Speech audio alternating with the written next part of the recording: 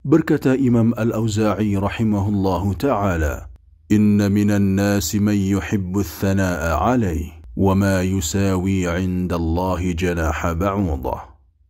Sesungguhnya ada di antara manusia yang suka dipuji, padahal dia di sisi Allah tidaklah lebih berat dari sayap seekor nyamuk. Kitab Al-Hilyah, jilid 8 halaman 255.